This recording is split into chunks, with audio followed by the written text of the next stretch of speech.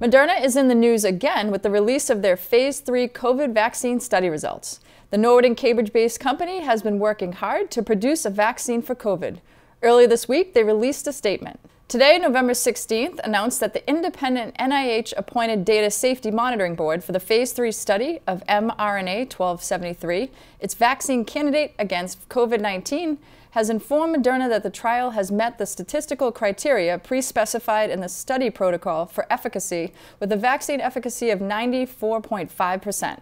This study, known as the COVE study, enrolled more than 30,000 participants in the U.S. and is being conducted in collaboration with the National Institute of Allergy and Infectious Diseases. NCM will continue to follow this story.